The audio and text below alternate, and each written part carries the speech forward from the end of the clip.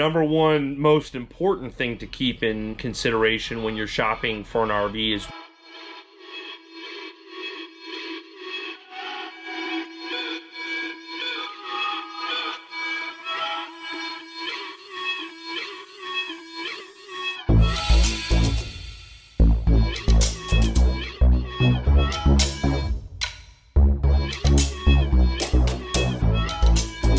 What is going on, everybody?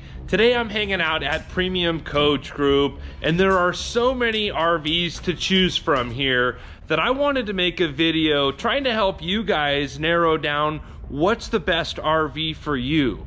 So I came up with seven different questions that you should ask yourself before purchasing an RV. I want to give a huge thanks to the RV Glass Guru for sponsoring today's video. The RV Glass Guru specializes in large one-piece windshield replacements. They have a team of installers throughout the state of Arizona and a nationwide network. RV Glass Guru offers additional discounts for veterans and first responders. Greatly appreciate RV Glass Guru. Walking around this showroom, there's all kinds of Prevosts. Here's a nice Winnebago. My buddy James AZ Experts doing an inspection on it right now. Hey everybody, what's up? Over here is an absolutely stunning Newell coach so many different things to choose from. So they're doing some work in the shop. So I'm gonna go inside this Newell coach real quick and tell you the seven questions that you should ask yourself before you choose what RV is best for you.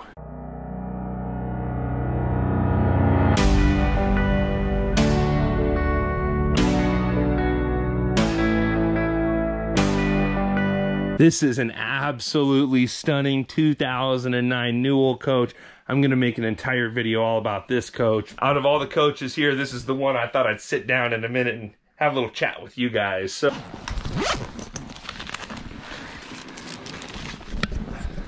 I actually put some thought into this video. I don't always write stuff down. So usually when I write stuff down, that means I'm about to give you guys some good information. Now I have been doing a lot of consulting for folks, helping them choose the best RV. You can schedule a consulting call on my website, rvingwithandrewsteele.com. There's a consult button in the top right corner would love to jump on a phone call with you and kind of help guide you through the whole process. So go into these questions here are what you should ask yourself. And I'm actually going to close this air door here just so you guys can hear really well.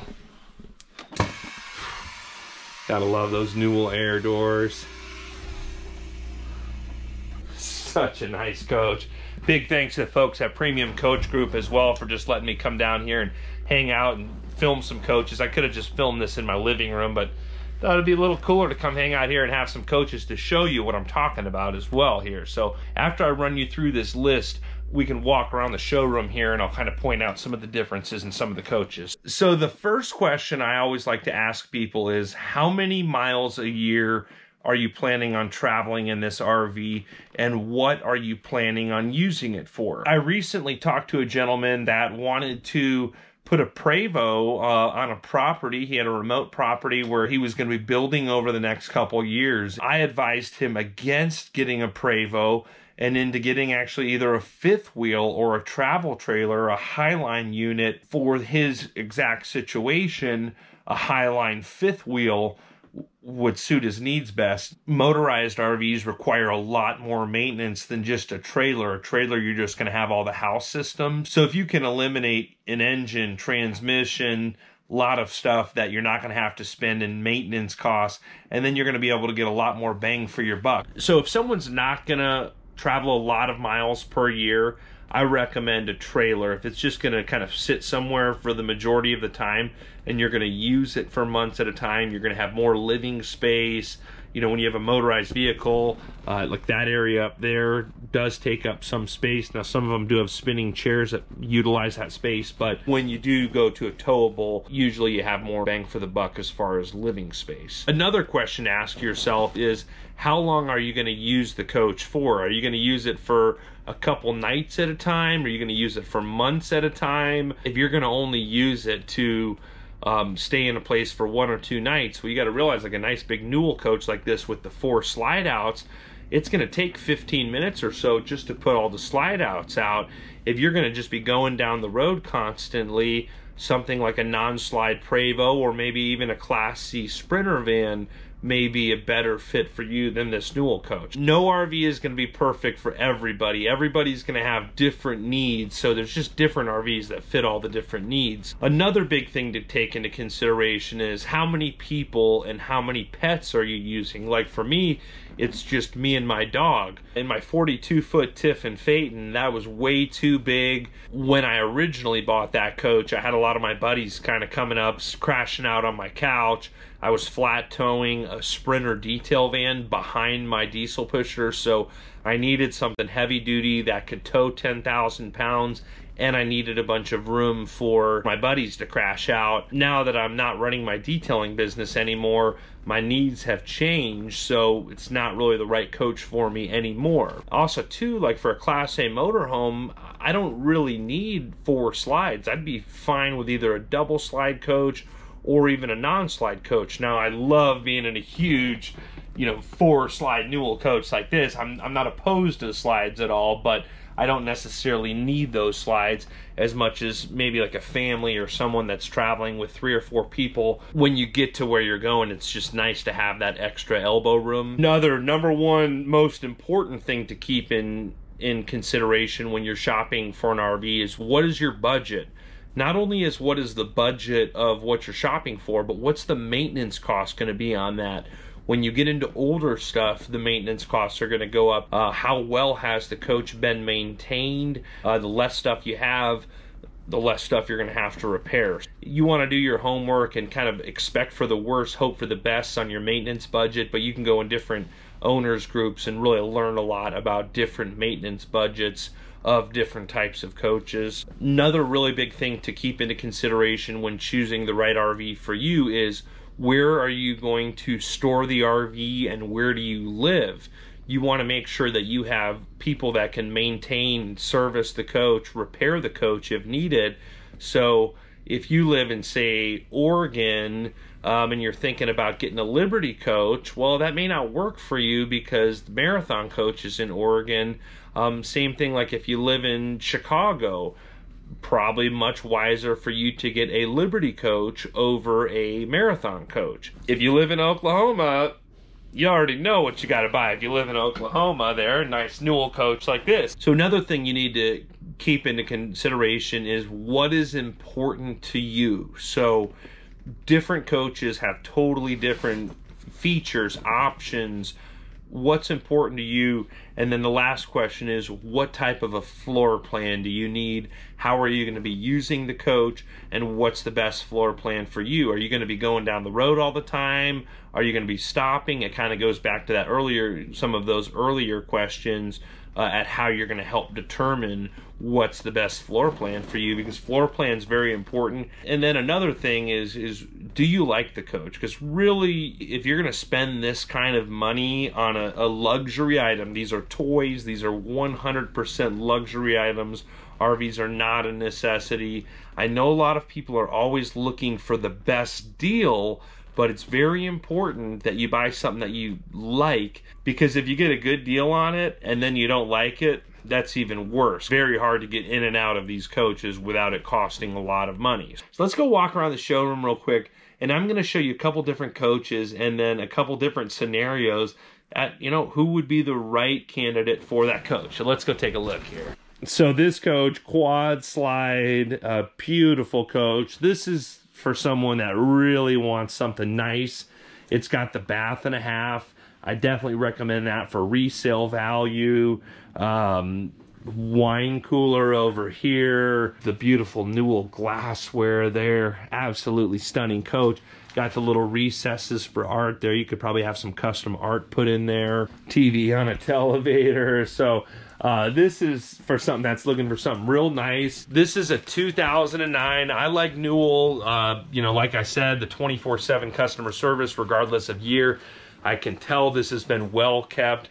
Um, when you look at a Newell coach and all the, you know, look at all the seams, everything's wrapped in leather um, just how well you know that's you know you look at these kind of areas and you can tell how well a coach is held up. I got to point out you know how much headroom I have. I can literally walk inside of a Newell coach slide.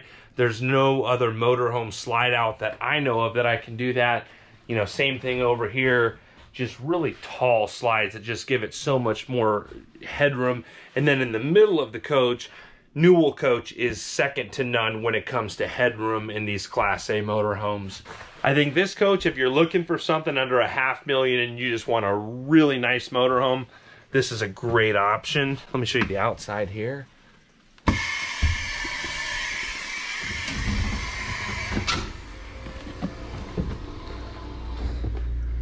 Now here's a double slide uh, Prevost Country coach. Here's a King Air right here. Uh, so double slide. So some of the difference. This is a little more set up to kind of be going down the road. Manual door. Absolutely stunning coach, but not nearly as big as that Newell coach. So maybe if you have less people, this might be a good coach for you. So this is a non-slide Prevost Country coach. Let's take a look inside. So this is gonna be a lot more simple. It's a non-slide coach. Some lights on in here real quick. And I'll tell you who uh, would be the right person for this. So um, definitely much smaller, but hey, for someone that's gonna be going a lot of miles down the road and they don't need as much space, this could also fit quite a few people. So not as comfortable, but hey, if you want to have kind of a party or like a tailgating rig, I think this would work. Let me get some lights back here. On the back of this coach, this is set up for really a unique purpose. It's got this kind of poker table, kind of a lounge area. This could be converted into a bedroom, but if you wanted something like more of a party rig, this would be a good rig for you. These are like the tour buses. These are set up to run. If you were just going to go kind of plop down somewhere for like six months, I wouldn't necessarily recommend this coach because you can get something with slide outs. It's going to be a lot more comfortable where this is more designed to kind of be going down the road, non-slides, a little more industrial style, definitely not as comfortable. And then also one other thing to keep in, you know, mind, this is an XL2, We've still got pretty good headroom in this. Definitely a really good looking uh, country coach there, but a Monaco Dynasty here. Now, if you're a little more budget conscious, this is not a bad coach either here. This one is a really cool coach. Non-slide 99 country coach concept. I'm excited about this one. But, you know, so this Monaco Dynasty here, I believe they have it listed for just under 200 grand, still a tag axle rig quad slide, lot of space. This is gonna be around the same amount of money as that uh, Prevost over there, uh, but it's gonna have a lot more room. So if you're not going a lot of miles a, a year, this Monaco is a great coach. If you're gonna be really running it hard, that Prevost Country Coach may be good for you. Now this coach right here, this coach is gonna be for um, let's say that you're the guy that really wants to be known for having all the toys and all the coolest stuff. Get yourself a marathon coach with a matching stacker trailer with this whole outdoor kitchen setup with the fondue station. Definitely not a bad way to go. Or 2011 Newell coach over here, quad slide. This one's bunk model. So totally different floor plan, double slide bunk model. Maybe you're planning on going down the road quite a bit and traveling with your family. So right here, country coach veranda. This is a cool coach. So this is maybe you're gonna be somewhere where you wanna put this uh, patio, this outdoor patio down here. Not a bad play at all. There's a Beaver Marquis a lot of coach for the money of that vintage. You've got a leisure travel van Unity, a little Class C on a Sprinter chassis.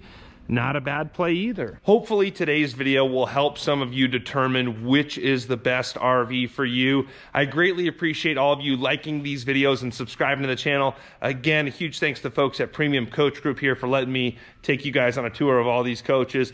Greatly appreciate all of you and I hope you're all having a great day. Thanks again.